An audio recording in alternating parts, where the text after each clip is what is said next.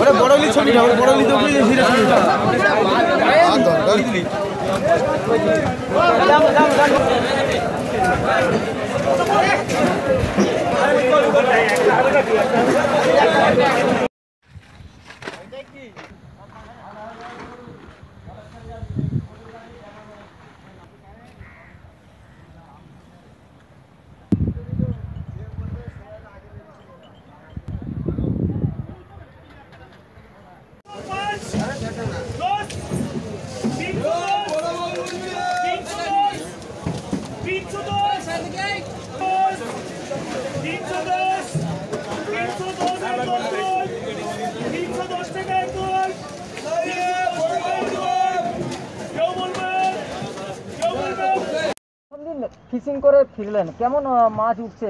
মাছ মন কুড়ি উঠেছিল। ইলিশ মাছ পমপ্লেট পাঙ্খা কাঁটা চিকরি সব রকম মাছ উঠেছে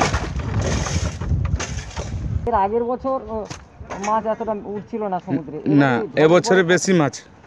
বেশি মাছ উঠছে এবছর ইলিশ মাছ বেশি আছে। আপনার নাম? আমার নাম হচ্ছে গোপাল মাঝি। ঘর? মাছের নাম হচ্ছে তারামা। তারামা তারামা। এই মরশুমে প্রথম সমস্ত মৎস্যজীবীরা মৎস্য শিকার করে ফিরলেন দীঘা মহানায় ব্যান পিরিয়ডের পরে সরকারি নিয়ম মেনে অল্প কিছু সংখ্যক লঞ্চ ট্রলার সমুদ্রে যেতে পেরেছিল। কারণ ইয়াস জ্বর এবং কোভিড নাইন্টিনের সরকারি বিধিনিষেধ ইত্যাদির জন্য সকলে প্রস্তুতি নিতে ঠিকমতো পারেনি। যে অল্প সংখ্যক লঞ্চ ট্রলার সমুদ্রে গিয়েছিল, তারা কিছু আজকে ফিরেছে। ইলিশ হাতে গোনা কয়েকটি উঠেছে মাত্র।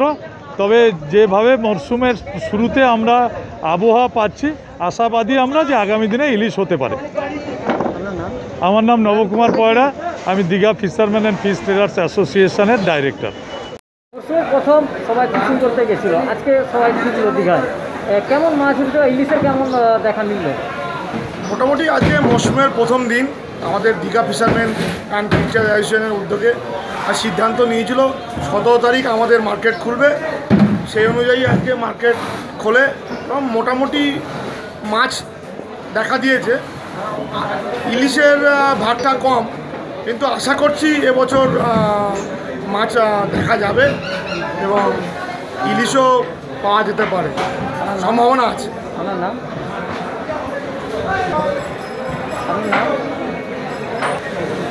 আমার নাম আবু সেলিম মণ্ডল চিনি ব্যবসায়ী বিকে কোম্পানি।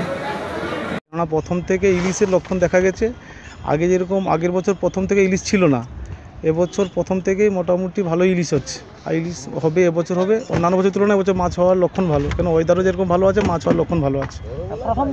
প্রথম দিন ইলিশ আজকে দেখা দিয়েছে আমাদের তিনখানা বোর্ড ঢুকেছে। তিনখানা বোর্ডের এ, দু তিন টন মাছ পেয়েছি আমরা ইলিশ মাছটা। আমার নাম শক্তিপদ সাউ। তলা? তারামা টলার তারামা সত্যিরক্ষী দুখানা তো- তিনখানা টলারের মাছ